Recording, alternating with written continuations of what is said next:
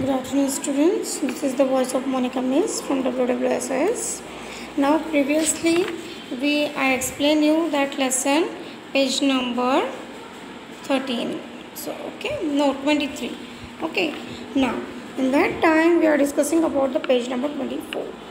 Oh don't cut my throat sir. I pleaded in terror.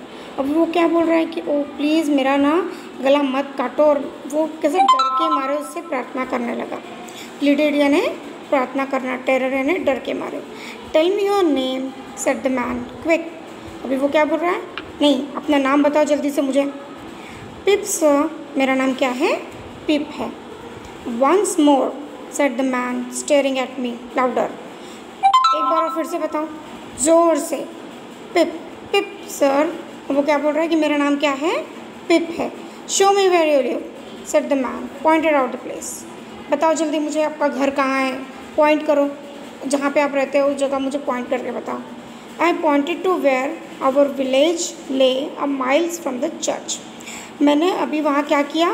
Point करके अपने जो गाँव का रास्ता था, उस तरफ़ पॉइंट करके उसको दिखाया और क्या बोला कि चर्च से बहुत दूर है मेरा घर। The man sorry the man looked at me closely then he turn me upside down and emptied my pocket अभी उसने मुझे क्या किया?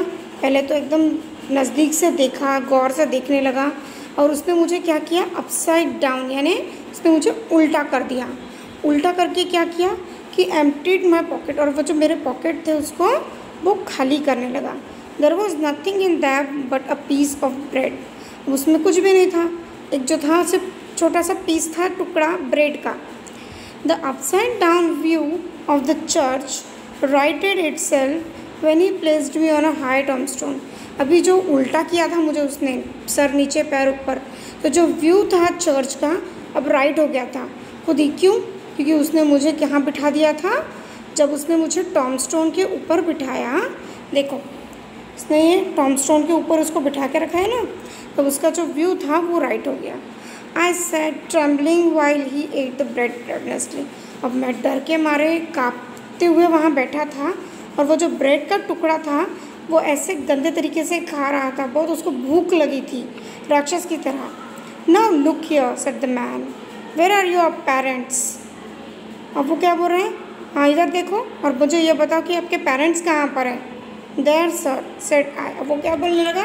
हाँ यहाँ है मेरे parents the man jumped and made a short run but then he stopped and looked over his shoulder अभी वो उसने ऐसा सुना कि यहाँ पर मेरे पापा मम्मी हैं पेरेंट्स है तो वो डर गया और वो वैसे ही उठ के खड़ा हो गया और वो थोड़ी दूर में दौड़ते हुए गया और वो रुक गया और आकर देखने लगा उसके शोल्डर से उस टॉमस्टोन की तरफ़। There sir I timidly said pointing to the tombstone अभी उसने ना और इससे बोलने लगा एकदम इससे कि मेरे पापा मम्मी कहाँ पर हैं?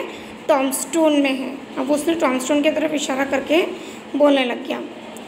ओ said the man so what do you live with ओ तुम किसके साथ में रहते हो? If I let you live which I haven't made me my mind about अगर मैं तुमको ज़िंदा छोड़ दूँ तो क्योंकि मैंने उस अपना मन तो बनाया नहीं है कि मैं तुमको ज़िंदा छोड़ दूँ सिस्टर सर मिस्टर मिसेस जो Gargery wife of Joe Gargery the blacksmith sir मैं अपनी सिस्टर के साथ रहता हूँ, जो कि मिस्टर मिसेस जो गार्गी है, जो जो गार्गी की वाइफ और वो जो है, वो एक ब्लैक स्मिथ है, जूते बनाने वाला, मोची है ओके अभी see let's we finish that page and in the next class we are discussing about page number 25 okay? Thank you